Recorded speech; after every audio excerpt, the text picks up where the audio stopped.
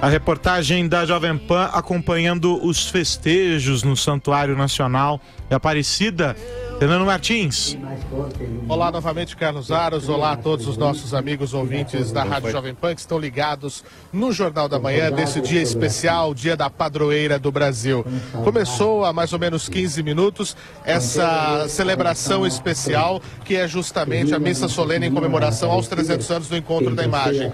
Uma acaba nesse momento uma gravação do Papa Francisco enviada para os fiéis e aqui, Carlos Aros, em um trecho de 10 minutos de fala do Papa Francisco, ele falou muito sobre esperança. Várias vezes se voltou ao povo, ao povo brasileiro falando sobre esperança, dizendo que o povo brasileiro não deve se deixar abater pela falta de esperança e que o, o cristão jamais pode ser pessimista. Um cristão jamais pode ser pessimista. O Papa Francisco reforçou essas mensagens aqui uh, ao povo em uma gravação feita pelo Vaticano e enviada pelo uh, prefeito do Vaticano, o, o prefeito do, do, dos municípios, né, da, da, das dioceses, que é justamente Giovanni Re, que veio da Itália trazendo a rosa de ouro dos 300 anos e a festa continua. Daqui a pouco será levado em um andor, será levada a imagem até ao altar que foi colocado em um grande palco.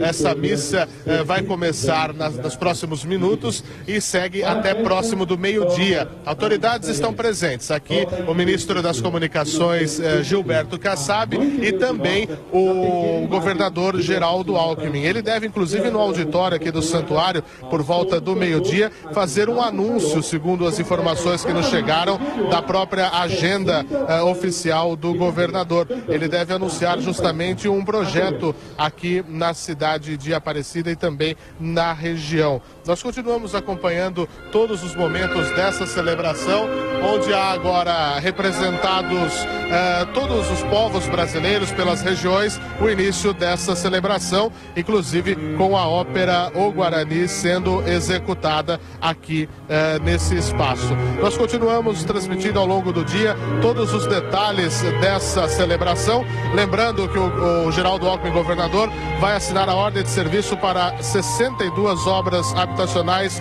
do conjunto Aparecida B. Esta agenda do governador por volta do meio-dia, mas ele está aqui presente assistindo a essa celebração. Carlos Aros.